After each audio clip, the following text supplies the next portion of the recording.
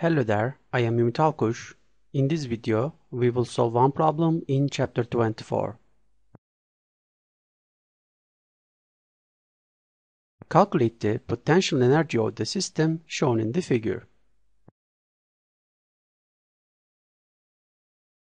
The electric potential energy of the system is calculated as the sum of the all possible potential energies between pairs.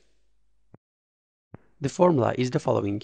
U equals sum over I greater than J, K times Qi times Qj over Rij, where Rij is the distance between Qi and Qj.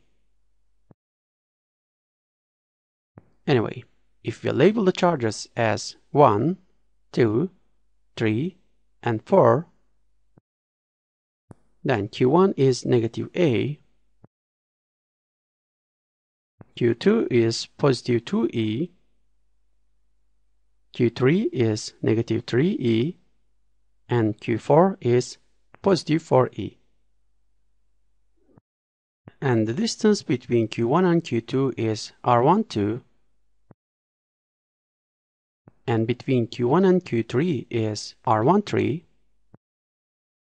between Q1 and Q4 is R14. Let the distance between Q2 and Q3 be R23 and between Q2 and Q4 be R24. Finally, let the distance between Q3 and Q4 be R34. According to the figure, the system can be represented as a square, where each length is a. Therefore, the diagonal length is square root of 2a.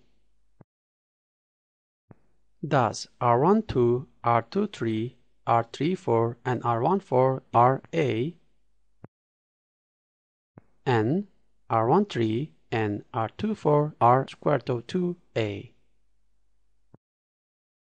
So, according to this configuration, the potential energy of the system is obtained as the potential energy between Q1 and Q2 plus the potential energy between Q1 and Q3 plus between Q1 and Q4 plus between Q2 and Q3 plus between Q2 and Q4 plus between Q3 and Q4.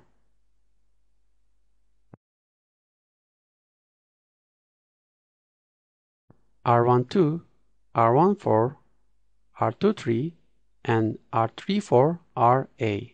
Also, R13 and R24 are root 2A. If we put the numerical values into this equation, we can take the common term k times e squared over a outside. And the remaining thing is or simply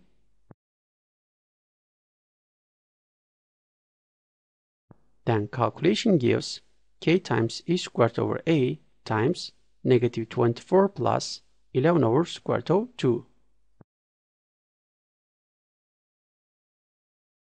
Now, we can put the numerical values into this equation.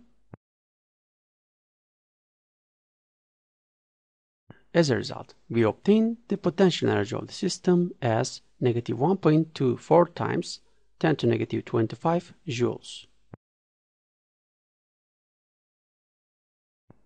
B. What is the work required to assemble the system by bringing charges from infinity one by one? As you remember from the lectures, the work to assemble the system by bringing charges from infinity one by one is equal to the potential energy of the system, that is, approximately negative 1.24 times 10 to negative 25 joules. Okay, this result brings us to the end of the discussion of this problem. Thank you for your attention. See you in the next video.